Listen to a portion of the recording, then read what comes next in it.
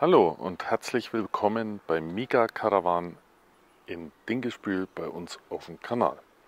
Schön, dass ihr wieder dabei seid, schön, dass ihr eingeschaltet habt. Ähm, heute äh, haben wir das Thema, wie angekündigt, Wechselrichter. Wechselrichter, Kombigeräte, ähm, reiner Sinus oder Sinus-Emitat. Was ist der Unterschied zwischen einer Kombi und einem normalen Wechselrichter? Das ist heute mein Thema ähm, um euch da ein bisschen Dinge näher zu bringen, die auch ich immer wieder im Telefon und in der Beratung gefragt werde.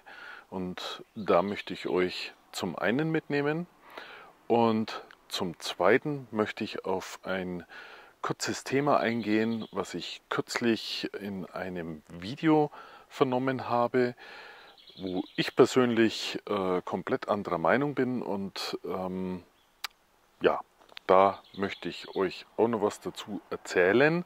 Und zwar habe ich gehört, dass wenn ein Fahrzeug ein Hochvolt Solarmodul auf dem Dach hat, am Campingplatz oder auf dem Stellplatz, weiß ich jetzt nicht mehr genau, kein Strom bekommen hat. Den Zusammenhang habe ich jetzt nicht wirklich verstanden. Ähm, ja, es gibt eine Empfehlung und von der VDE-Vorschrift oder sprich Empfehlung und darüber will ich ganz kurz auch mit euch reden. Also, lasst uns loslegen, Riesenthemen und fangen wir am besten gleich an. Ja, fangen wir an mit dem ersten Thema und zwar Hochvoltmodul auf dem Dach sein in naher Zukunft verboten.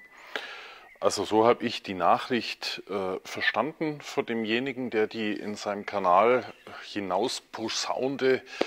Und ähm, wie war dann der Tenor, wenn das dann soweit ist, wird das wohl an die große Glocke hängen, weil dann müssten ja alle, die eine Reinschaltung machen, diese wieder rückgängig machen, weil diese nicht mehr erlaubt wären. Also, es gibt von der VDE eine neue VDE-Norm und die besagt, dass man, ich weiß jetzt nicht mehr ganz genau die Grenze, ich glaube es waren 48 Volt, 48 oder 49 Volt, ähm, dass man keine höhere äh, Spannung mehr auf dem Fahrzeug montieren darf. Also die Empfehlung, die ist richtig, die stimmt. Ähm, aber dazu muss man eins sagen. Also zum einen müssen wir ja mal unterscheiden, von welcher Spannung reden wir denn eigentlich. Ähm, von der Spannung, die das Modul kann oder von der Spannung, die unten dann letztlich rumkommt. Weil wenn auf dem Modul steht, Hochvoltmodul 50 Volt, dann kann das das Modul, aber das ist der größte Idealfall, der im Jahr keine Ahnung wie oft vorkommt. Äh, ich glaube, das ist zu vernachlässigen. Das zweite ist, ähm, VDE ist eine Empfehlung. Das ist kein Gesetz. Es ist keine äh, Grundlage für das ist gesetzlich so geregelt, sondern VDE-Normen sind eine Empfehlung, wo, äh, ein, ein, wo eine ja, eben Empfehlung ausgesprochen wird, so sollte man es tun. Aber das ist nicht bindend. Also das auch mal klar äh, vorweg sagen oder vorweggenommen. Es ist natürlich eine Richtlinie, an der man sich halten soll, ganz richtig, aber es ist totaler Quatsch, äh, wenn man so eine These aufstellt und sagt, ähm, äh, ein Kunde oder ein, ein, ein äh, Wohnmobil käme auf keinen Campingplatz mehr, wenn er ein Hochvoltmodul hat. Also Erstens mal können wir Dinge nicht rückwirkend abwickeln, weil bis dato war das überhaupt kein Problem und das wird auch in Zukunft kein Problem sein. Nur man kann ja jetzt äh, nicht, vor allem bin ich mal gespannt, wie das dann alles kontrolliert werden soll. Also äh, auf den Campingplätzen gehen wir dann rum mit einem Voltmeter und messen erst einmal die Spannung vom Wohnmobil und krabbeln auf dem Dach rum oder, oder wie soll das funktionieren? Also ähm, totaler Schwachsinn, wenn man solche Thesen in den Raum setzt, weil ich, ich wüsste gar nicht, wie das in der Praxis umsetzbar sein soll. Ähm, aber gut, behaupten kann man ja alles und man kann ja immer mal eine rausschießen, um wieder Menschen einzuschüchtern. Ähm, bloß ich sage euch ganz ehrlich, ähm, wir sind da ganz nahe dran und ich habe auch alle VDE-Vorschriften da und äh, wir sind auch in sämtlichen Verbunden und äh, Vereinen und ähm, totaler Quatsch. Also lasst euch da nicht verunsichern, es ist Schwachsinn. Ähm, einfach ganz normal machen, eure Solaranlagen äh, sind alle top und äh, auch wenn man mal was in Reihe geschalten hat, was äh, effizienter ist, nach wie vor, habe ich ja auch schon in einem Test so bewiesen, dann ist es auch nach wie vor erlaubt und da gibt es kein Gesetz dagegen, dass sowas verboten wäre. Also das mal vorab.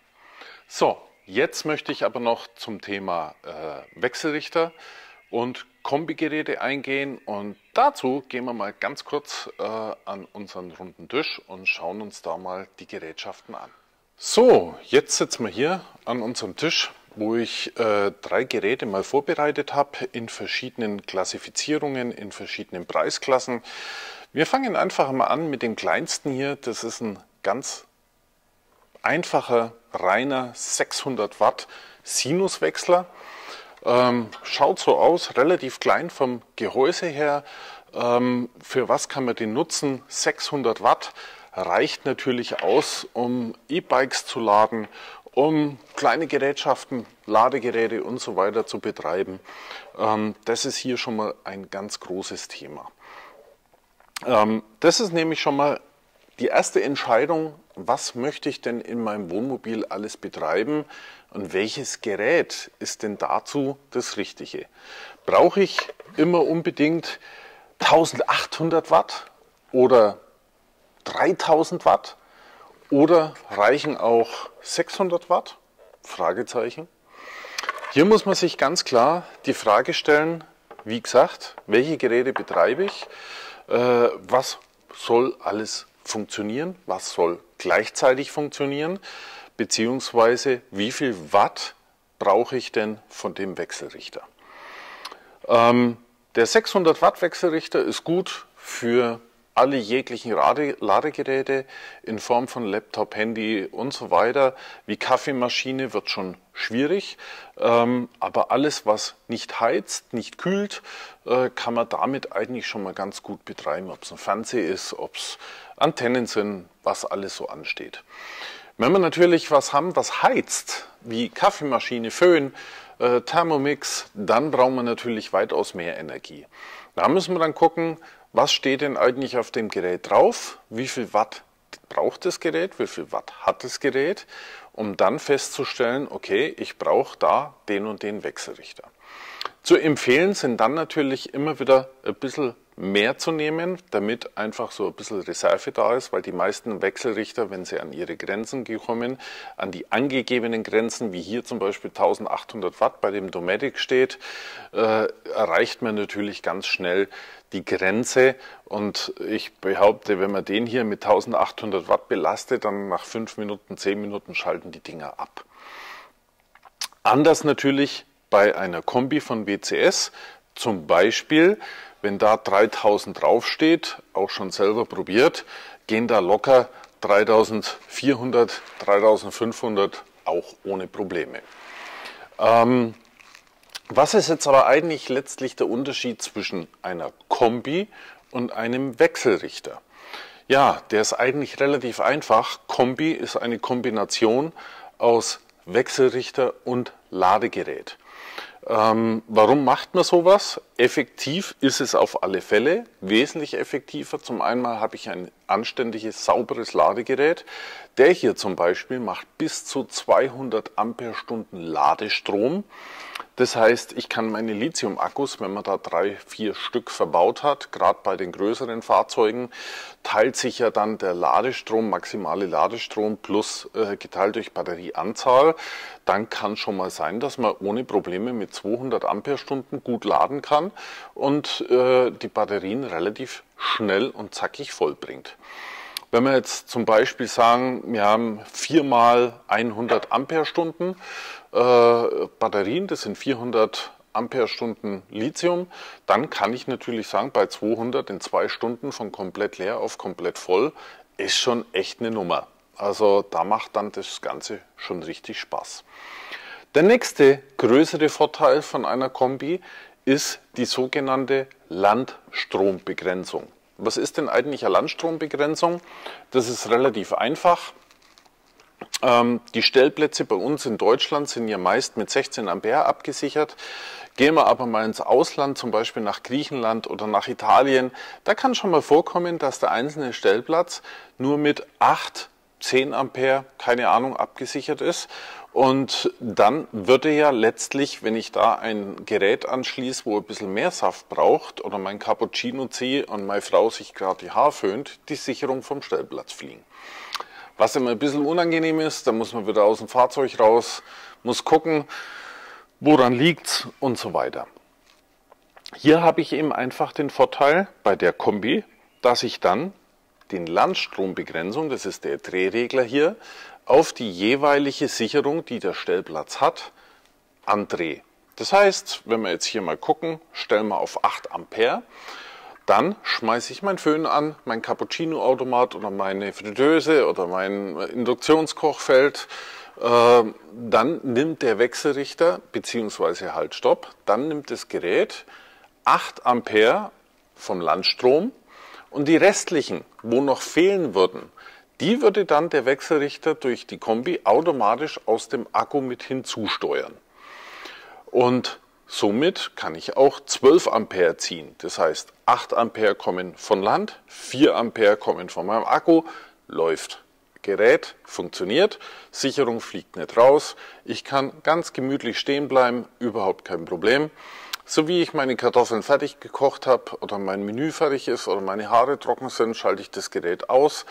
Dann wird die Kombi durch das eingebaute Ladegerät sofort meinen Akku wieder laden, bis er wieder voll ist und alles ist im grünen Bereich. Und so kann ich immer vollautomatisch die 16 Ampere nutzen, weil ich die immer durch die Landstrombegrenzung entsprechend zur Verfügung habe. In der Kombination aus Landstrom und meiner Lithiumbatterie. Und das ist natürlich eine tolle Geschichte, was diese Kombi kann. Und wie gerade schon angedeutet, man hat natürlich ein effektives Ladegerät, nicht nur einen höheren Ladestrom, natürlich auch die richtigen Ladekennlinien, damit die Akkus schonend und gut geladen werden mit der richtigen Ladekennlinie, die man da natürlich effizient einstellen kann. Denn die Schwierigkeit ist, bei den meisten Ladegeräten, die wir draußen so haben, die draußen in den Fahrzeugen sind, CBE-Ladegeräte und so weiter, sind nicht alle immer so toll einstellbar. Und da ist das natürlich auch ein richtiger Meilenstein.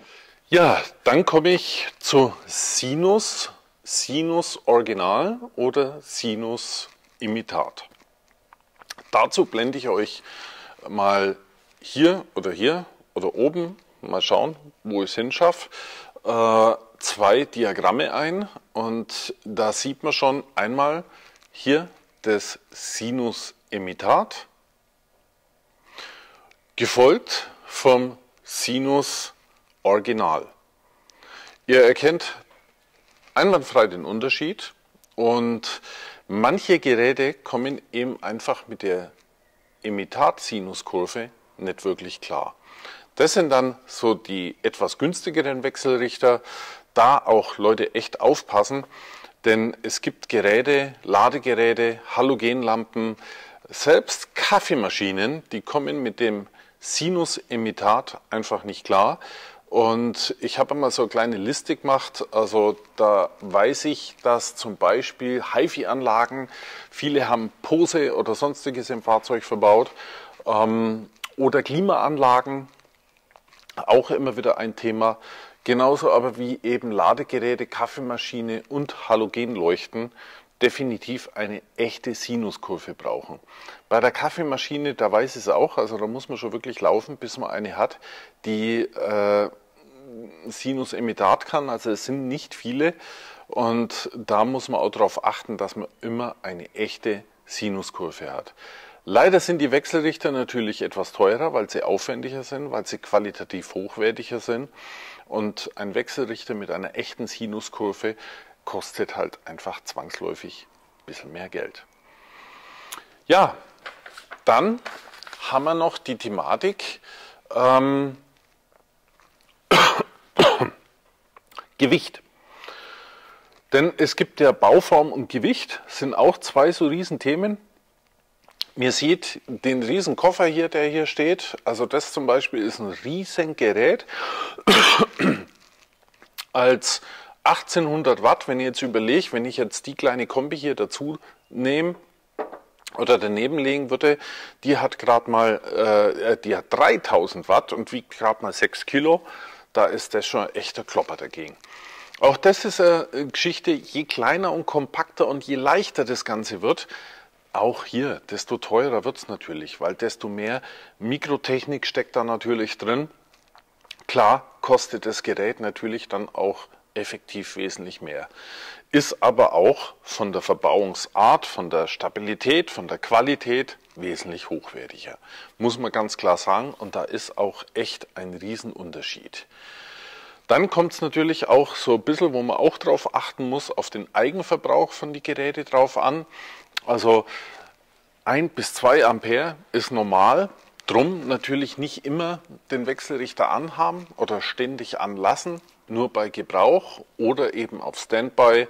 Dann schaltet der sich ja immer wieder ab, wenn man nicht mehr braucht und alles ist. Ja, dann kommen wir einfach mal zur Anschlussart äh, bei solchen Wechselrichter, was immer auch ein, ein riesen, riesen Thema ist.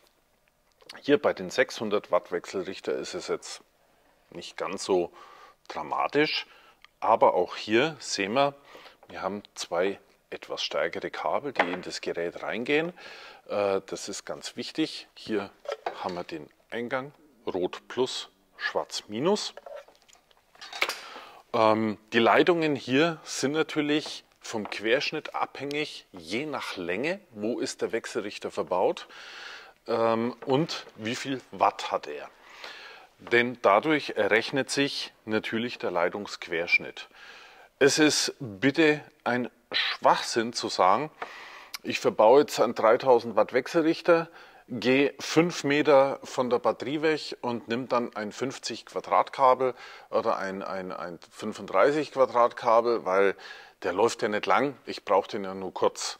Also das ist totaler Quatsch. So kann ich als Werkstatt und als Fachbetrieb natürlich nicht arbeiten, weil wir müssen natürlich immer davon ausgehen, die 3000 Watt waren vollends ausgenutzt und auch über eine längere Zeit, weil Kartoffelkochen geht nicht in fünf Minuten, äh, wenn man Induktionskochfeld zum Beispiel damit betreibt. Habe aber alles schon selber mit eigenen Augen gesehen, darum betone ich das auch so damit man da wirklich aufpassen muss, damit die richtigen Querschnitte verbaut sind und verwendet werden. Zum richtigen Querschnitt gehören aber auch die richtigen Kabelpressschuhe, denn auch die haben qualitativ riesengroße Unterschiede, genauso wie Verteiler, Masse und Plusverteiler. Auch die müssen die Ströme abkönnen. Also mal eben sagen, ich hau da einen Wechselrichter rein, nimm da so einen vergoldeten, keine Ahnung was Verteiler, das wird nicht funktionieren. Da bauen wir uns lauter Übergangswiderstände und Heizelemente, weil das wird alles fürchterlich warm. Drum immer drauf gucken, qualitativ an der Stelle echt nicht sparen, das ist ganz wichtig. Genauso muss auch immer die Leitung abgesichert werden mit einer Sicherung. Die haben wir hier verbaut. Da muss die restliche Leitung natürlich zum Wechselrichter abgesichert werden. Immer darauf achten, dass die hoch genug ist aber nicht zu hoch ist. damit es auch anständig abgeregelt wird. Dann haben wir auf der Seite noch einen Punkt und zwar haben wir hier eine kleine Schraube. Die Schraube hier, diese Leitung ist auf Masse zu setzen, sprich auf Gehäuse, also Fahrzeugchassis. Ähm, das ist natürlich ein Gehäuse, eine Gehäuseerdung, damit hier keine Problematik entsteht, müssen wir hier eine Leitung noch zusätzlich ziehen, damit dieses Gehäuse auch anständig geerdet ist. Und ja gut, hier muss ich ja nichts sagen. Plus Rot für Batterie, Schwarz, Minuspol Batterie. Dann drehen wir den ganzen Sums um. Dann sehen wir hier einen ganz normalen Schuko-Stecker und einen Schalter. Ein Aus, 1, 0, 2. 2 ist für einen Fernbedienungsanschluss und 1, 0 kann ich den manuell ein- und ausschalten. Hier haben wir eine Schuko-Steckdose. Solange ich den Wechselrichter so einfach reinschraube, das dürfte ich noch, da brauche ich auch noch keinen FI verbauen. Dann kann ich hier das Gerät anstecken und alles ist gut. Oder eben eine Steckdose, alles gut. So wie ich aber, und ich als äh, Fachbetrieb verbaue es ausschließlich so, so wie ich aber alle Steckdosen im Fahrzeug unter den Wechselstrom, also Wechselrichterstrom setze, das heißt, ich habe ja eine Verteilung drin, ich gehe in die 230 Volt Verteilung, muss ich hier am Ausgang nochmal einen FI setzen, also nach diesem Ausgang einen Fehlerschutzschalter und erst dann darf ich an die ganzen Steckdosen gehen. Ähm, ist ein, ja, ich sage jetzt einfach mal überlebenswichtige Maßnahme, denn wenn ich einmal ein defektes Gerät habe, wo nicht mehr einwandfrei funktioniert, Wasserkocher oder irgendwas ist durchgebrannt, dann bin ich natürlich froh, wenn ich einen Fehlerschutzschalter noch dazwischen habe, der mich schützt vor dementsprechenden Stromschlägen, die dann nicht durch mich, durch meinen Körper gehen, sondern rechtzeitig das Ding abschaltet. Und das ist eine ganz wichtige Installation, die gemacht werden muss. Das zum Beispiel ist eine Vorschrift, die muss gesetzt werden und ist auch natürlich lebensrettend. Geht auch gar nicht anders. Also ist ja auch in jedem äh, Installation im Haus, äh, in den äh, neuen Installationen müssen ja überall Fehlerschutzschalter installiert sein, so natürlich auch zwangsläufig im Kfz. Und jetzt kommt bestimmt gleich wieder die Frage, ja, aber wie funktioniert denn das, wenn das Fahrzeug nicht an dem Stecker hängt, sprich am Landstrom hängt, dann kann doch gar kein Fehlerschutzschalter funktionieren. Doch kann er und tut er auch, wenn man richtig verbaut. Ähm, wie das allerdings geht, dazu kann ich nur sagen, dafür gibt es Fachbetriebe, die das gelernt haben, die zertifiziert sind dafür, wie auch wir, die ihre Meister haben, wie auch wir, äh, dass wir da anständig dementsprechend arbeiten und auch das äh, gehört natürlich zu unserer Fachausbildung dazu. Wir haben aktuell zwei Meister beschäftigt, die da mehr wie kompetent sind in dem ganzen Thema und ähm, da wissen wir schon ganz genau, was wir auch tun. Ganz wichtig ist eben, dass das Leben geschützt wird durch solche Fehlerschutzschalter und natürlich entsprechend anständig verbaut ist das Ganze. Ja, dann haben wir noch ein Thema und zwar Netzvorrangschaltung. Wenn wir so einen Wechselrichter verbauen, dass alle Steckdosen unter Strom sind, nicht nur eine, sondern wirklich alle, dann müssen wir natürlich auch Folgendes beherzigen, und zwar eine Netzvorrangschaltung. Eine Netzvorrangschaltung regelt den Vorrang vom Landstrom gegenüber den Wechselrichter. Hätten wir dies nicht drin, also dieses Gerät zum Beispiel hat dieses nicht inkludiert, äh, da müssen wir extra Kästchen verbauen, wo eben diese äh, Netzvorrangschaltung gewährleistet. Ähm, hätten wir dieses nicht und wir würden den Wechselrichter anhaben und würden gleichzeitig Landstrom anstecken, dann wird es einen riesen Knall tun und dann hätten wir einen Kurzschluss und nichts wird mehr gehen. Ähm, die WCS-Kombi zum Beispiel hat dieses inkludiert, also sprich, da ist diese Netzumschaltung hier innen drin. Drum muss auch dieses Gerät immer eingeschaltet sein. Wenn ich am Landstrom bin, einfach einschalten, dann wird der Strom durchgeschleift und wird automatisch durch den Wechselrichter Vorrang haben und schaltet den Wechselrichter auf die Seite. Das macht auch das Kästchen, was man hier zusätzlich verbaut. Eine Netzvorrangschaltung heißt, der Netzvorrang, also der Landstrom, hat immer Vorrang, wird durch Relais dementsprechend durchgeschaltet und falls der Wechselrichter noch an ist, wird dieser weggeschaltet, sodass es eben keinen Kurzschluss mehr gibt. Jetzt möchte ich euch noch ein kleines Feature zeigen, zum Beispiel hier bei der WCS-Kombi. Ein relativ super Feature, denn Erklärung ist ja oft immer das eine. Wir haben hier einen QR-Code. Da gehe ich einfach mit meinem Handy kurz drauf und klicke dann dementsprechend an und schon habe ich die gesamte Anleitung von der WCS-Kombi auf mein Handy. Das ist natürlich ganz praktisch, weil das Bedienteil oben am Display oder irgendwo zugänglich verbaut ist, wo man auch ohne Probleme dann entsprechend diesen QR-Code scannen kann. Blöd wäre es natürlich, wenn es irgendwo unterm Sitz wäre oder sonst was, wo man nicht mehr hinkommt. Manche Batterien haben so komische QR-Codes, die dann, wenn dann unterm Sitz verbaut sind, oben drauf sind, wo man ja überhaupt nicht mehr richtig zum Scannen hinkommt, weil das ja, ja, wie, wie, also verstehe zwar nicht, aber das ist ein bisschen doof gemacht. Aber hier kann man einwandfrei dementsprechend diesen QR-Code abscannen, dann kommt die komplette Anleitung und man kann sich sofort wieder, falls man was vergessen hat, dementsprechend belesen.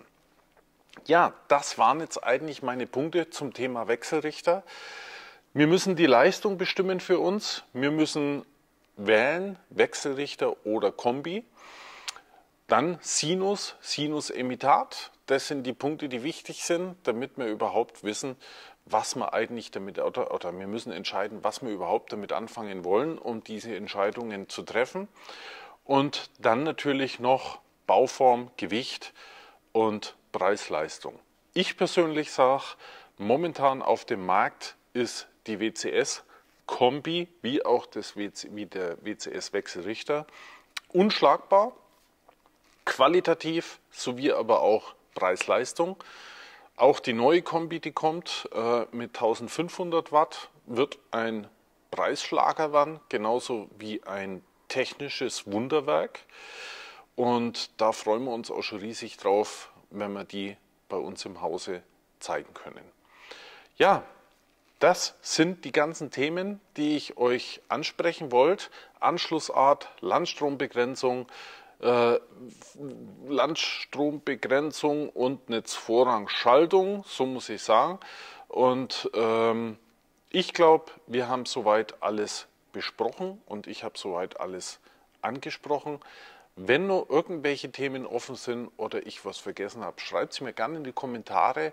Äh, ich bin natürlich immer bereit, die zu lesen und auch zu beantworten, so wie ich kann. Und ich freue mich über rege Diskussionen und ich freue mich auch schon wieder auf unser nächstes Video.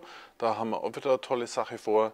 Und ich sage schon mal ganz, ganz lieben Dank. Ja, ich sage ganz lieben Dank fürs Zuhören. Ich hoffe, es hat einigermaßen den Inhalt gehabt, der für euch interessant ist.